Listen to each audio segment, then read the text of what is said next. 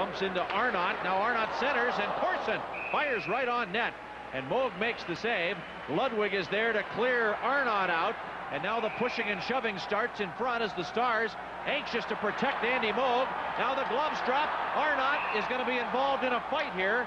Arnott is fighting. There's another pair that are already down on the play, and we've got a couple of different matches going out there, and now the linesmen get in there to try and watch Barr and Arnott, and Arnott connects with a right hand uppercut.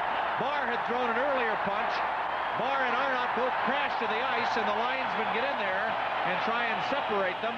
And all the other players that had squared off and paired up are now just spectators watching the main bout, which becomes Jason Arnott and Dave Barr.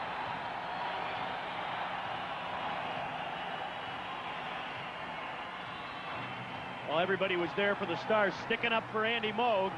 And Arnott